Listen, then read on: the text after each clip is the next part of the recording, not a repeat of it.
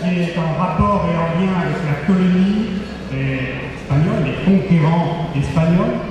Et ce refus, ce refus de, la soumission, de, tout ce qui a, été vécu les peuples autochtones à cette époque et dans le passé, à l'oppression, aux conquérants espagnols, à l'envahisseur, cette danse représente est représentée par le taureau, qui représente évidemment la culture hispanique, et par le lynx, qui représente la culture guarani. Et évidemment, à la fin de cette danse, c'est le lynx qui gagne qui sort victorieux puisque la culture guarani est entre nous et parmi nous dans cette diversité culturelle. Et avec vous, le groupe musical Pukawara et la danse Atiku.